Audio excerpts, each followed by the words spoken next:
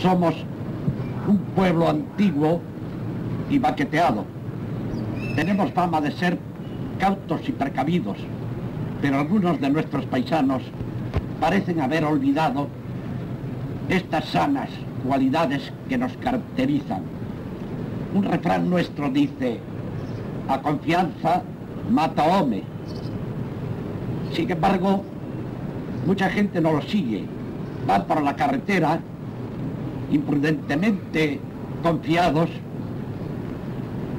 ajenos a toda medida de precaución y sin saber que el automóvil forma ya parte de nuestra vida cotidiana y que hay que atender y adaptarse a sus exigencias.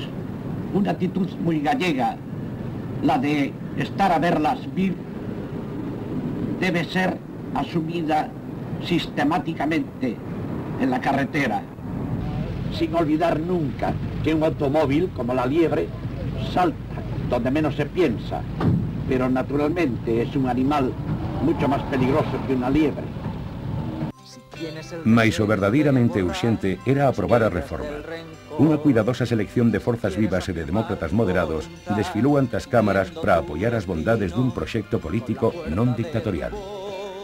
Mi opinión es favorable totalmente al referéndum, máximo en estos momentos de integración y de participación, creo que, que es una obligación de todo ciudadano español el participar en él.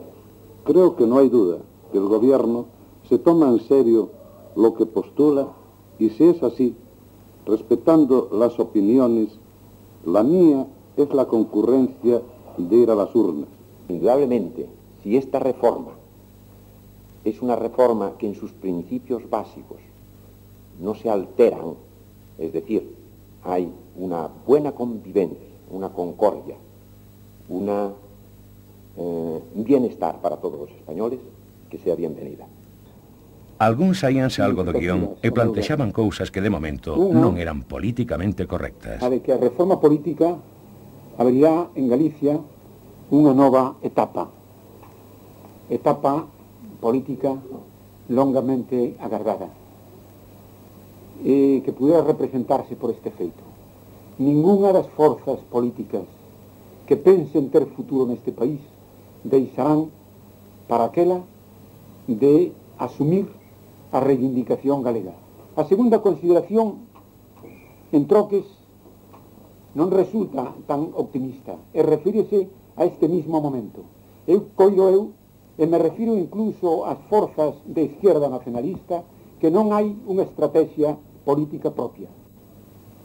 Paradóxicamente, esta estrategia é máis ben mimética. Mm, o povo, o noso povo, ten un sentido, ten unha actitud, quizáis traballada, afirmada pola súa historia, de un realismo político moi grande. Isto, estas forzas que indudablemente son xóvenes, non tuveron experiencia política por culpa deste trauma dos 40 anos aparecense un pouco juveniles, son máis ben mocedades de partidos, mocedades, grupos de xómenes que homes políticos andados. E entonces a súa estrategia non é unha estrategia eh, con verdadeiro realismo. Nas vésperas do referéndum da lei, as cousas seguían igual. As esquerdas opoñíanse por considerala insuficiente e a extrema dereita por estimala excesiva. Por iso, eran tan importantes para o goberno as cifras da participación electoral, Despois de 40 anos de silencio político, serían o primeiro dato da forza social de cada quen. Aquel 15 de decembro, a xente falta de práctica andaba ás veces algo despistada. Santiago? Papaca Es, es la, la de enfrente. Pero su primer apellido, ¿cuál es? Quintán. Quintán. Tiene que ir allá, por favor. Ah. Al otro lado. Pero aí estaban, solícitos, algúns presidentes de mesa para axudala a cumprir cos seus deberes cívicos.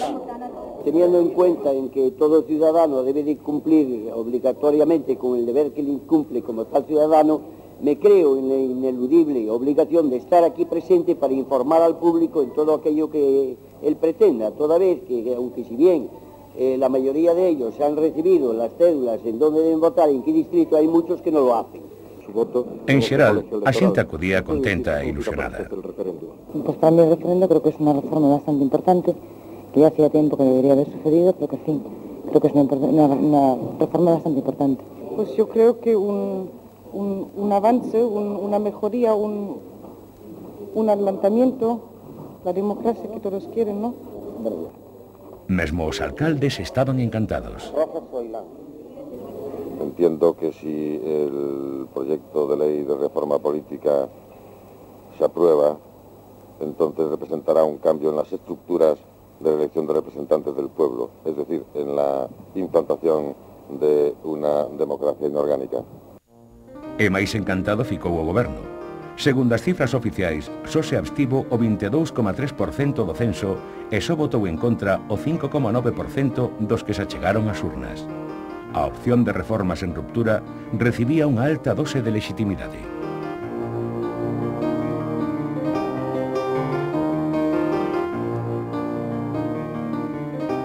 La dialéctica de las votaciones como principio democrático legitimador ha prevalecido claramente sobre el lenguaje de coacción y de violencia.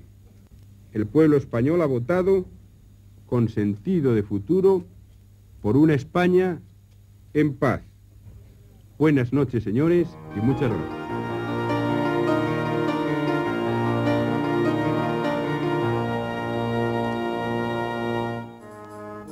E para colmo de bens, en Galicia caeu o gordo da lotería, concretamente en Lugo.